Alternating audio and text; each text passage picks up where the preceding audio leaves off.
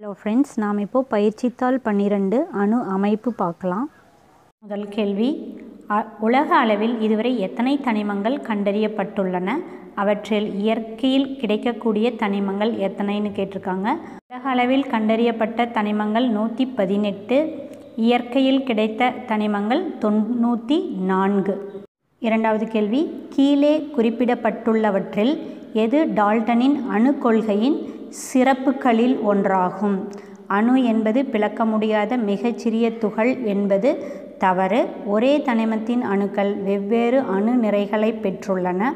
வெவ்வேறு தனிமங்களின் அணுக்கள் ஒரே அணு நிறையை பெற்றுள்ளன.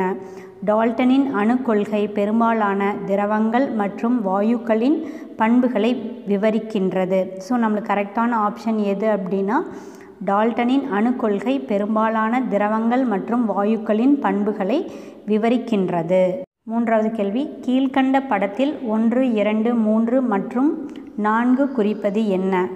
ஒன்று அப்படிங்கிறது வந்து என்ன அப்படின்னா கேத்தோட்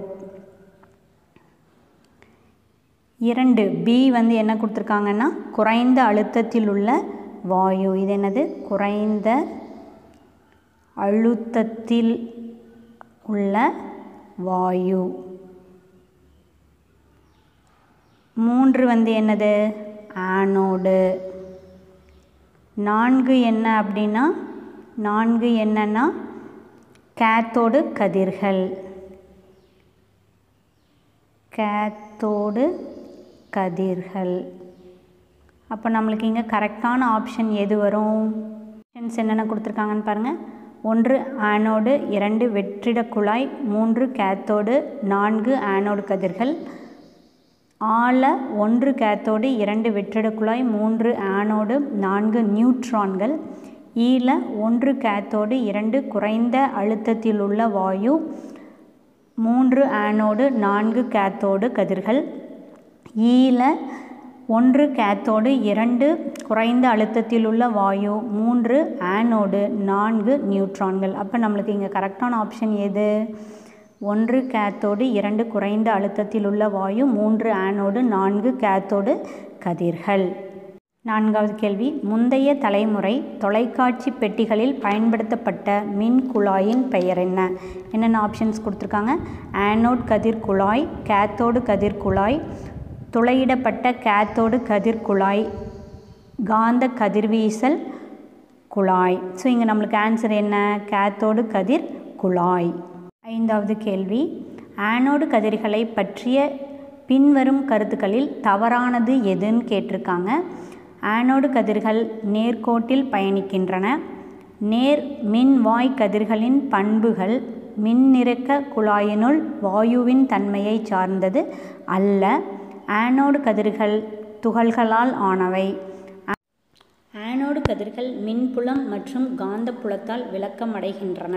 இதில் கரெக்டான ஆப்ஷன் எது அப்படின்னா ஆ நேர்மின்வாய் கதிர்களின் பண்புகள் மின்னிறக்க குழாயினுள் இருக்கும்.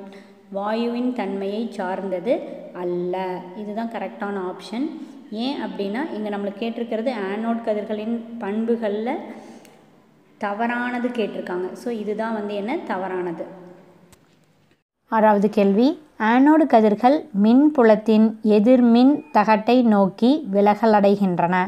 இது ஆனோடு கதிர்கள் டேஸ் மின் சுமையை பெற்றுள்ளன என்பது புலனாகிறது.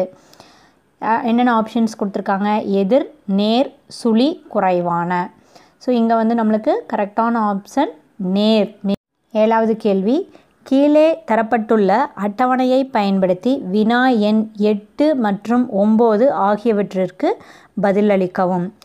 எலக்ட்ரான்களினுடைய நிறை என்ன? ஒம்பது புள்ளி ஒன்று இன்ட்டு பத்தின் அடுக்கு மைனஸ் இருபத்தி எட்டு கிராம். அதனுடைய மின் சுமை எதிர்மின் சுமை புரோட்டான்கள் ஒன்று புள்ளி ஆறு இன்ட்டு பத்தின் அடுக்கு மைனஸ் இருபத்தி நாலு கிராம் நிறை கொண்டது. இதனுடைய மின் சுமை என்ன? நேர்மின் சுமை நியூட்ரான் ஒன்று புள்ளி ஆறு இன்ட்டு பத்தின் அடுக்கு மைனஸ் இருபத்தி நாலு கிராம் நிறை கொண்டது. இதனுடைய மின்சுமை என்ன? மின்சுமை அற்றவை. அதாவது கேள்வி எந்த ஒரு அடிப்படை துகள்கள் ஒரே நிறையை கொண்டுள்ளன? என்னென்ன ஆப்ஷன்ஸ் கொடுத்துருக்காங்க? Proton neutron proton electron electron neutron இவை எதுவும் இல்லை. அப்போது இங்கே நம்மளுக்கு கரெக்டான ஆப்ஷன் என்ன? புரோட்டான் நியூட்ரான் ஏன்னா ரெண்டுலேயுமே நிறை என்ன? ஒன்று புள்ளி ஆறு இன்ட்டு பத்தி நடுக்கு மைனஸ் இருபத்தி நாலு கிராம். ஒன்பதாவது கேள்வி. எந்த ஒரு அடிப்படை துகள் மிக குறைந்த அல்லது புறக்கணிக்கத்தக்க நிறையை கொண்டுள்ளது? ஆப்ஷன்ஸ் என்னென்ன கொடுத்துருக்காங்க? புரோட்டான் நியூட்ரான் எலக்ட்ரான் இவை எதுவும் இல்லை. ஸோ இங்கே புறக்கணிக்கத்தக்க அப்படின்னா அதனோட வந்து என்னது? எலக்ட்ரான் தான் கரெக்ட் ஆப்ஷன் அது கேள்வி. பின்வரும் வேதி சமன்பாட்டில் ஆங்கில எழுத்துக்கள் எக்ஸ் ஒய் எவற்றை குறிக்கின்றன?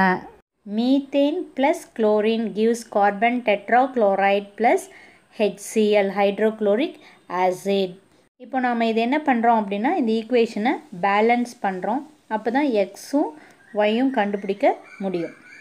இப்போ கார்பன் இங்கே எவ்வளோ இருக்குது ஒரு கார்பன் ஹைட்ரஜன் எவ்வளோ இருக்குது நாலு ஹைட்ரஜன். குளோரின் எவ்வளோ இருக்குது ரெண்டு குளோரின் இருக்குது இது இந்த சைட் பாருங்கள் கார்பன் ஒரு கார்பன். ஹைட்ரஜன் ஒரு ஹைட்ரஜன். அதே மாதிரி குளோரின் எவ்வளோ இருக்குது குளோரின் இங்கே நாலு இருக்குது ப்ளஸ் இங்கே ஒரு குளோரின் இருக்குது ஸோ ஃபோர் ப்ளஸ் ஒன் மொத்தமாக ஃபைவ் குளோரின்ஸ் இருக்குது இப்போ நம்ம இதை எப்படி பேலன்ஸ் பண்ணுறோம் அப்படின்னா ஃபர்ஸ்ட்டு ஹைட்ரஜனை பேலன்ஸ் பண்ணிக்கிறோம். அப்போது இங்கே நாலு ஹைட்ரஜன் இருக்குது ஆனால் இங்கே ஒரு ஹைட்ரஜன் தான் இருக்குது அப்போ இங்கே ஒயிட் பதிலாக என்ன பண்ணுறோம் ஃபோர் போடுறோம். இப்போ ஃபோர் போட்டிங்க அப்படின்னா என்னாகும்? ஃபோர் ஹைட்ரஜன் ஃபோர் சிஎல் ஆகிடுமா அப்போ இங்கே வந்து என்ன? Into one into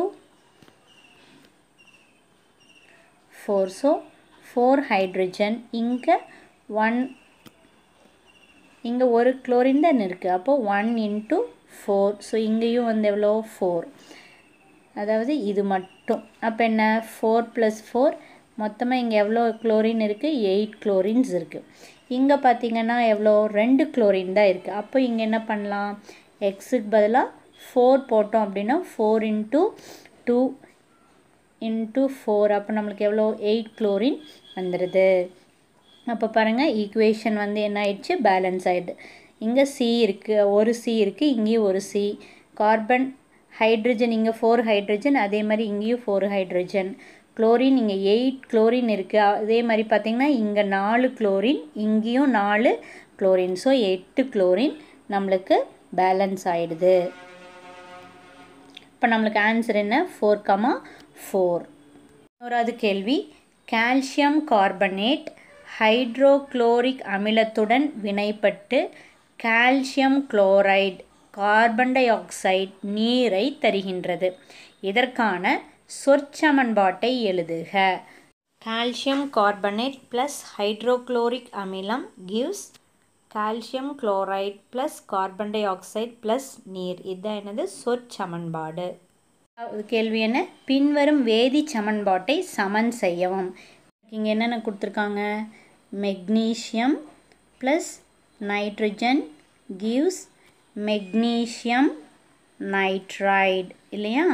இப்போ பாருங்கள் இங்கே நைட்ரஜன் ரெண்டு நைட்ரஜன் இருக்குது இங்கேயும் நைட்ரஜன் ரெண்டு நைட்ரஜன் இருக்குது ஆனால் இங்கே மெக்னீஷியம் நம்மளுக்கு இங்கே எவ்வளோ இருக்குது மூணு இருக்குது ஆனால் இங்கே பாருங்கள் ஒன்று தான் இருக்கு இல்லையா? அப்போது இங்கே மூணு போட்டோம் அப்படின்னா என்ன ஆயிடுச்சு? ஈக்குவேஷன் பேலன்ஸ் ஆயிடுச்சு. அப்போது மூணு மெக்னீஷியம் ப்ளஸ் ரெண்டு நைட்ரஜன் அதே மாதிரி இங்கேயும் மூணு மெக்னீஷியம் ரெண்டு நைட்ரஜன்.